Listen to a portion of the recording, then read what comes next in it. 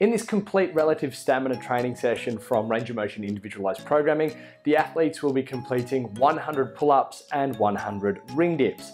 Every time they need to break one movement, they will add a minute time penalty to their total time and switch movements. The athletes will scale these movements so they're able to perform somewhere between 20 and 30 repetitions of each movement in that first set. So firstly, let's explore the programming science behind this session. This is obviously focused on upper body relative stamina. That is the fatigue resistibility of the upper body. We are coupling together two movements, one that is more pull based in the pull up and one which is more press based in the ring dip. So although there is an overlap in terms of some of the muscle groups being used, in particular the stabilizers, we do have a little bit of respite as you're recovering from those pull-ups, working on those dips and vice versa. And although we are getting some recovery in the muscle groups, there is a bit of an overlap in terms of the energy systems being used. So although your muscles are recovering and that more peripheral fatigue is recovering, the ability to deliver energy to the muscles and to be able to remove waste from the muscles, alternating between these muscle groups means that there is a blood shunting effect which does cause a cardiorespiratory benefit. So there is an improvement here in work capacity as well as in that relative stamina. Now this session dangles a bit of a carrot in front of the athletes because there is an incentive to do larger sets. Larger sets mean less of those one minute time penalties and a greater overall score. But because of this, the athlete is incentivized to push closer to failure. So what does this push towards failure do? Well, it creates a very high degree of motor unit activation. What this means is we are turning on a lot of those nerves which turn on the muscle fibers to create a muscle contraction.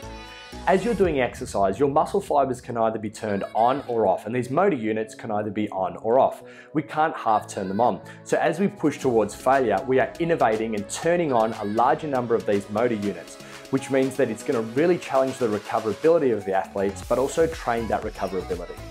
And anytime you're pushing towards failure like this, it will leave you feeling like you've done a lot more than 100 reps of each movement. This can be a great training strategy to get a really good training effect without having to do hours of training to achieve it. So what are the benefits of this session to your health and to your body composition? Well, because we are doing very high repetitions of a movement, this is not the most effective session to improve strength or power. However, as we've already mentioned, it has a very powerful effect in terms of improving the ability of that individual, of that athlete, to resist fatigue. So fatigue resistibility is one of the big benefits here. From a cardiovascular risk factor point of view, often a lot of the cardiovascular exercises that we do in our training are more based around the lower body, things like running and cycling and rowing. What this can do, however, is create an environment in the upper body where it's not evolved and it's not adapted to be able to meet some of these cardiorespiratory demands. So this is a really effective way of building some cardiovascular health through the upper body to reduce a lot of the risk factors of cardiac disease. And in terms of the benefits to blood chemistry, we can see favorable adaptations with things like cholesterol levels, uh, lipids, triglycerides, and blood pressure. Now, in terms of the effect of body composition here, although this is a session which is not biased primarily towards cardiorespiratory endurance, and therefore the energy output is not super high, the fact that we are doing a considerable amount of muscle damage here as we're pushing our body towards failure multiple times over this session means that we get a high degree of EPOC, that is excess post-exercise oxygen consumption. What this means is after you finish training, the energy expenditure doesn't stop. It can continue for an extended period of time from the end of that session. Let's move now on to performance benefits. And the big benefit here, as we've already talked about in the health benefits, is the ability of our muscles to resist fatigue. Although we can't change the numbers of different types of muscle fibers in our body, we can improve the efficiency of a certain muscle fiber. So the high repetitions here and the need to be continuing these contractions during fatigue will really improve the efficiency of those slow twitch muscle fibers and build a high degree of peripheral stamina in the body. Plus, as a result of the high number of contractions, we're actually increasing the amount of mitochondria in our muscles. This is basically the little fuel cells inside a cell which allows us to complete these muscle contractions. By increasing the mitochondria, we're increasing the ability to resist fatigue, which improves the stamina of our muscles even further. And we get further fatigue resistance by increasing the density of the capillaries in the muscles that we are using. We have more capillaries, we have more capacity to be able to deliver nutrients and fuel to our muscles and to be able to remove waste products from our muscles. And although this session is not designed with cardio-respiratory training as its primary benefit, the ordering and patterning of these movements where we're shunting blood between different muscle groups means there will be a cardiovascular benefit.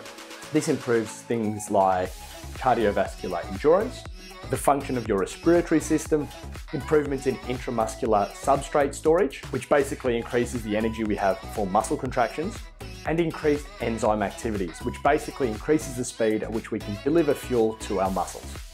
So let's talk strategy to be able to get the most out of this session and to be able to finish it in the shortest amount of time possible. Now, it is key to remember here that your time for this is not the time it took you to complete the 100 reps of each movement, but the time it takes you to complete these 200 reps plus any of the time penalties. So again, there's an incentive or a carrot being dangled here.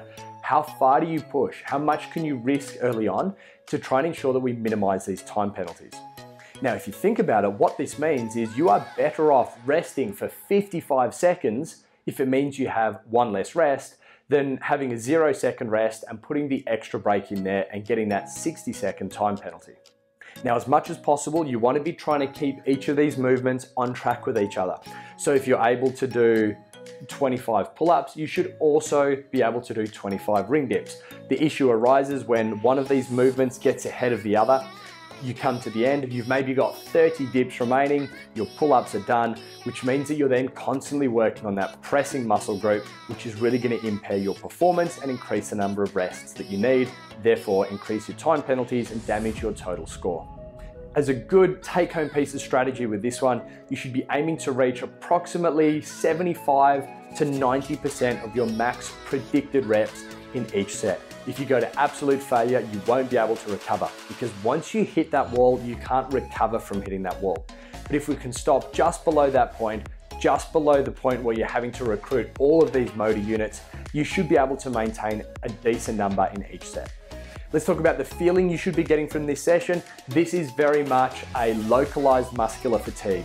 You're not gonna be limited by your breathing. You're not gonna be limited by your strength you're going to be limited by the fatigue resistibility of the muscles in question.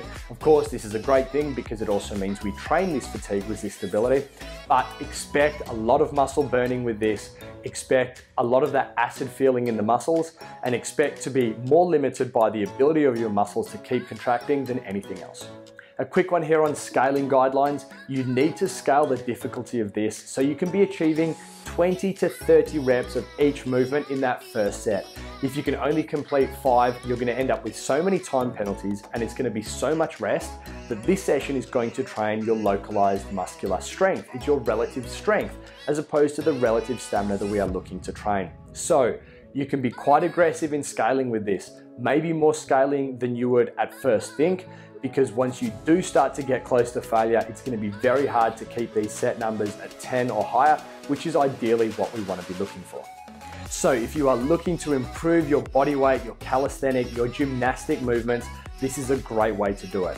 There is a super high level of muscle recruitment because of that fatigue and because of that desire to push close to failure on each set.